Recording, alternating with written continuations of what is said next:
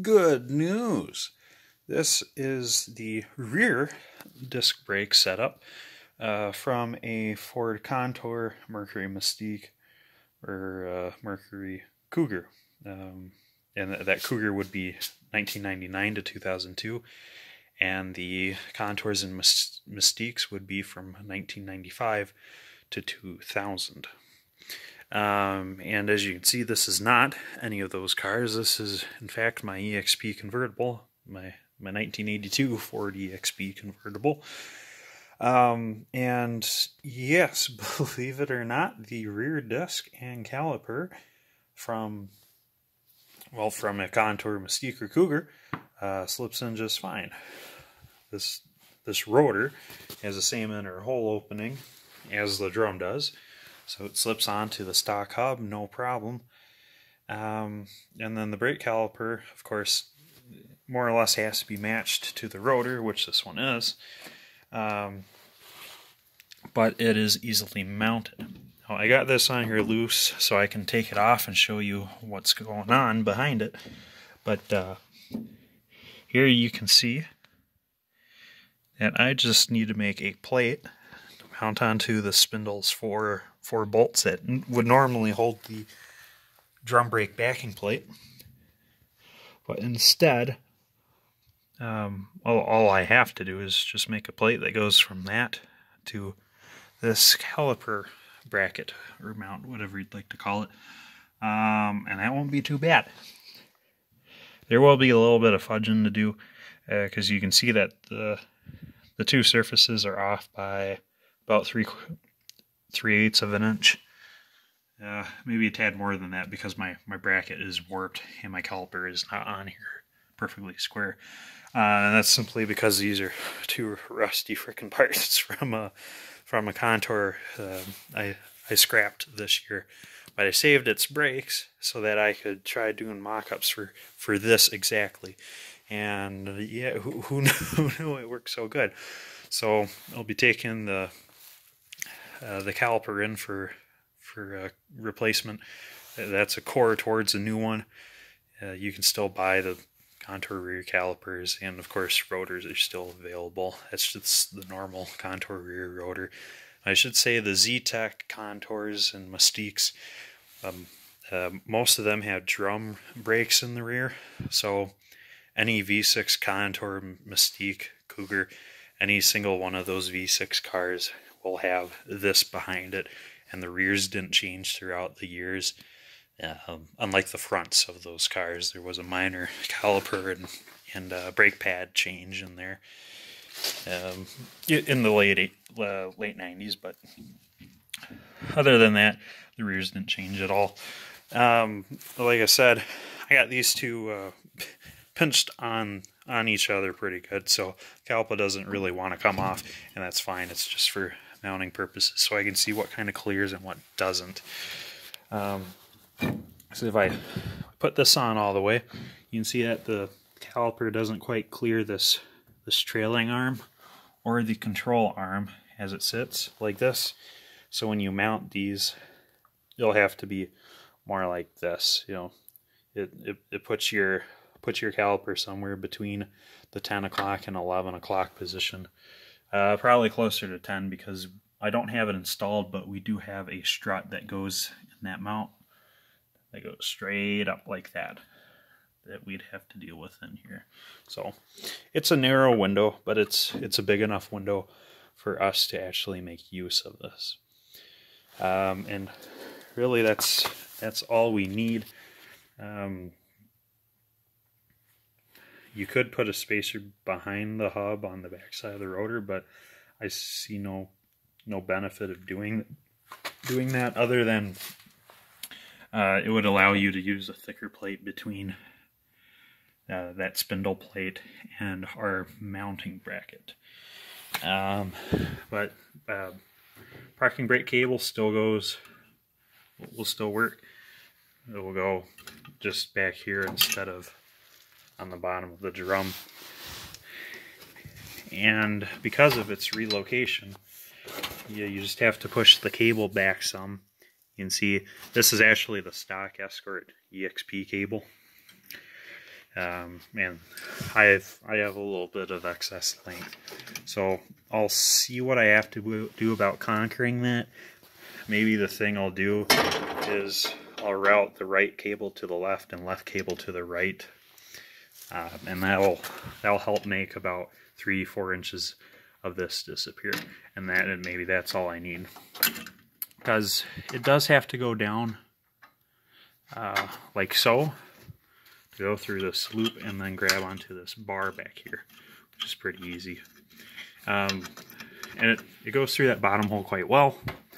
I can show you real quick. I'm just not going to install the, the pin in because it sucks.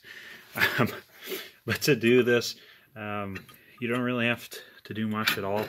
You just have to spread apart these little fins, which you have to do from the get-go anyways. And if you have this little rubber spacer here, um, I think you'll have to get that gone. You can see this rubber spacer takes up too much space because on here it's a fairly th thick casting. So with that spacer gone, this will go click and that, that metal clip collar I actually hold this guy in there snug like it did from the from the factory. I, I actually have a chunk of the contour handbrake cable and you can see it's it's relatively the same thing. Um,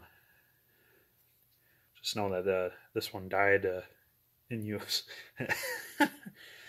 um, yeah, um, about all there is to, to this. It's nothing too too complicated. Um, but it is neat. Now, what kind of wheels will this fit? Um, from from the center point to the outside of the caliper, it is the six inches exactly. So that that means, uh, you know, you, you need the the wheels inside diameter can't be any less than 12 inches oh, from side to side, full full diameter. So these 13 inch stock steelies actually won't work at all. Um, the second I tried offering it up to this, uh, the inside was just bouncing against the caliper. So you can see that raised section there. Uh, they, they have those in tires not only for strength, but so that you can actually mount the tire. When you're spooning off the one side, the other side needs to get needs to go somewhere. And the only way you can fit a spoon between the tire and the rim is to have a place for the wheel to go. You're sorry, for the tire to go. So half of the tire bead has to go somewhere. That's why they make that cavity. So that kind of stinks. These 13s won't work. Uh, but I do know that 14 inch tempo rims do fit over this fine. Um, select ones I think you need a spacer for. Um, kind of really shouldn't need a spacer, but uh, I, I, believe it's the cast tempo ones, you know, the ones that are made out of cast aluminum. Um, this whole surface back here across all the spokes is flat, so this caliper interferes. But if you get a quarter inch spacer after your rotor goes on, anything will clear this top surf, you know, this this face of the caliper, and then all you have to worry about then is this face. But like I said, it, all you have to do is make sure you have 12 inches of, of clearance between your wheel. Now sadly this only had uh, 11 inches of clearance, so it won't work over this at all. But most 14 inch wheels on up ought to fit around this fine. 15 inch for sure, not a problem. I, I can promise that. Because uh, all contours from the get-go came with 15s or largers. Uh, Steely's might have been 14s. Some cars, can't remember. But, but yeah, Outlook is good. Um, I tried putting on the rear knuckle from a contour, but it, it doesn't really line up with anything back here. Um, the contour design utilizes two two control arms, one back here, a, a thin one, and then a thicker one right here that goes goes back and mounts up onto a rear subframe. And then there there is a trailing uh, torsion arm, just like this, but it, they all line up in different spots. Um, when I have this knuckle out and gone, I'll then play around with it, but eh, it's it's not looking too good right now. but um, this is pretty much everything I wanted to cover. Um, someone actually did successfully do this to their 88 EXP before I did. I found that out just this morning, but um, he hasn't been able to road test it yet. That's something I haven't done yet either. I do have some new rear calipers and rotors from Contours I can throw on and try um, in the spring because right now uh, is coming soon and, and, my car is no, no nowhere near ready to see uh, to see the road again but someday all my cars will be and we'll decide whether we want the rear disc on the on the uh, on the convertible or not I really wanted to be able to use the stock wheels because it'll be an otherwise stock stock appearing restoration, but mm, we'll see. I can always save these for for my other cars, and that's uh, that what that that's just great. but uh, I'm lost for words. Um, you know the the brake line for the contour it is plenty long. It's long enough to go from here to here. Um, if that's something you're worried about, yeah, that'll be fine. You might need an adapter over here depending on what kind of hard line setup you have going, you know. Or if you're really short on rope, you can use the stock Escort EXP one, meet it meet it like halfway on the shock shock or something. You know, whatever. But um we'll, we'll we'll call it good for now. And uh, keep an eye out for more videos soon.